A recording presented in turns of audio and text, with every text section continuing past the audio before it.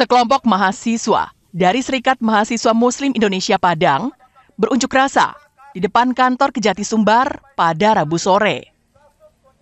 Sambil membakar ban bekas, mahasiswa menuntut Kejati Sumbar untuk sigap dalam menangani dugaan korupsi di tubuh pengurus KONI Sumbar sebesar 20 miliar rupiah.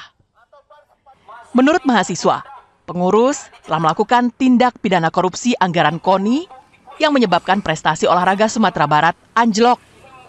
Itu terbukti turunnya perolehan medali emas di Pekan Olahraga Nasional.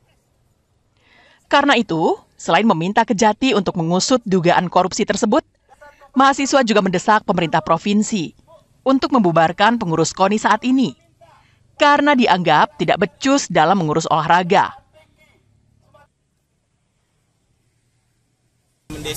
Kejati untuk segera mempercepat proses pengusutan terkait dugaan korupsi KONI sebesar 20 miliar. Nah yang kedua, itu kita ingin mencopot Ketua KONI Sumatera Barat karena telah merugikan dunia olahraga dan mencederai atlet-atlet Sumatera Barat. Sementara itu, Asisten Intelijen Kejati Sumbar mengatakan, penyidik dari pidana khusus Kejati Sumbar telah memeriksa 17 pengurus KONI Sumbar. Asintel Kejati memastikan penyidik serius menangani kasus dugaan korupsi di tubuh KONI Sumbar. Proses sedang berjalan. Makanya kalau dibilang, wah kejaksaan dalam hal ini pisus istilahnya memperlambat tidak ada tidak dilakukan apa istilahnya tidak ada melambat-lambatin memang prosesnya sedang berjalan ini sudah berapa yang diperiksa pak dari informasi yang saya dapat antara 16 sampai 17 orang.